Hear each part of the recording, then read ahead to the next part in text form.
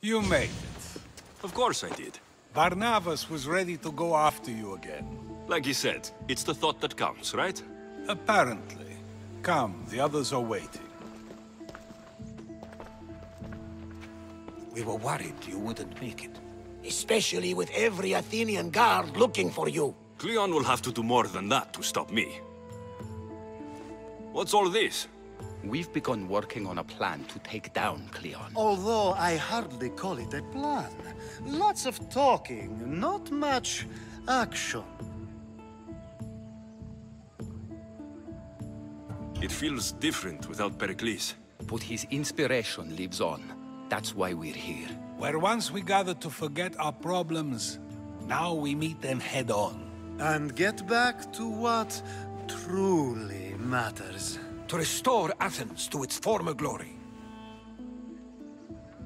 So you're taking down Cleon? Tell me the plan. It won't be simple. His death would disrupt the peace and be worse for Athens. He's right. We must discredit him first. Aristophanes apparently has some play he thinks will do the job. Some play? It is so much more than that. Oh, don't get your tunic in a twist. I just don't see why we can't all love each other. It's so much more fun that way. What's so special about the play?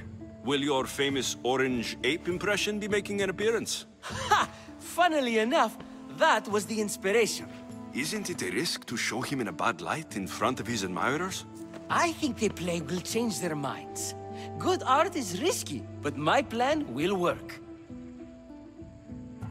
We can't just sit around. Cleon is sending a boat to Mytilene to kill the people there. The people trust Cleon. They'll vote for whatever action he puts forth. But that does not mean we plan to do nothing. Taking down Cleon won't be easy. But with your help, it will be possible.